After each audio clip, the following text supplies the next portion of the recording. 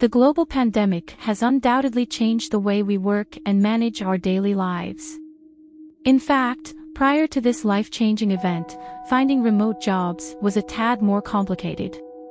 Most job sources didn't even bother to implement a remote work filter, forcing job seekers to get creative in their search and manually type phrases such as telecommute or work from home.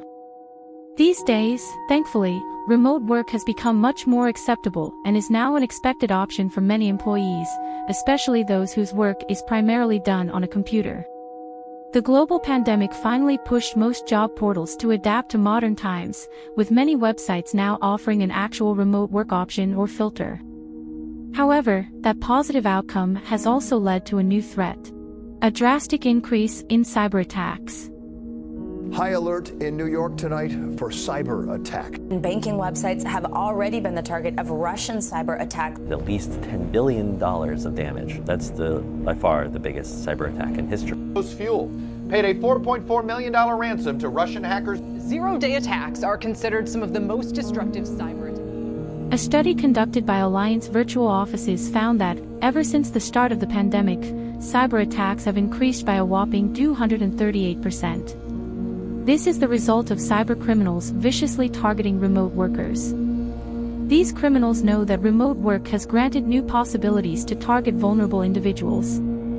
Let's keep in mind that not everyone was ready to make such a drastic and sudden change to their work habits, particularly older employees who may not be sufficiently familiar with modern computing. And while employers have tried their best to make the transition go smoothly, certain issues have inevitably fallen through the cracks and led to potential danger.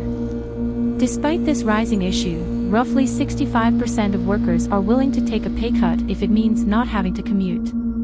After all, this means saving money on gas, spending more time with family, and potentially improving their overall quality of life.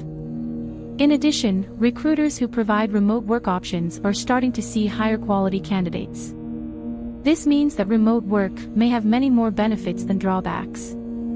So, to help fight these drawbacks, what can you do to protect yourself as a remote worker beyond the pandemic? First, let's remember that working remotely allows people to work from practically anywhere, and this includes public places. So if you're working from a laptop at a local coffee shop, never leave it unattended even if you're close by. It only takes two seconds for anyone to grab it without your knowledge and make a run for it. Secondly, when it comes to email messages, never click a suspicious link or attachment. Even known sources, such as friends and family, can send you questionable emails either unknowingly or because their accounts were also hacked. Always proceed with caution by reading the natural language found in these emails. If something seems odd, it's always best to follow your instincts. In addition, keep all software up to date. This includes personal applications, work-related programs, and even your primary web browser, such as Google Chrome and Internet Explorer. Also, ensure your computer has a trusted security suite installed.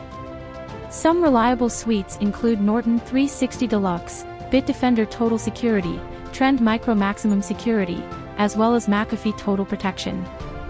While we could dive much deeper into the subject of computer security, the aforementioned tips can do an adequate job at keeping the average remote worker protected. Now, I'd love to hear from you. How has your remote working experience been so far? What do you like and dislike about it? Has your work ever been compromised? Please leave your comments below and I'll be sure to give it a good read. Lastly, subscribe to this channel for more topics on business, money, success, and everything in between.